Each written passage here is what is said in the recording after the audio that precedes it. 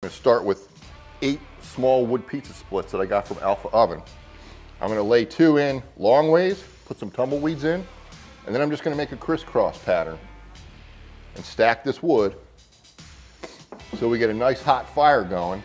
And then we're gonna put the door on here, give it about 45 minutes or so and get that oven nice and hot and we'll be ready to cook in the cast iron and even make some pizzas. Okay, here we go. Get that tumbleweed lit. That's all you gotta do.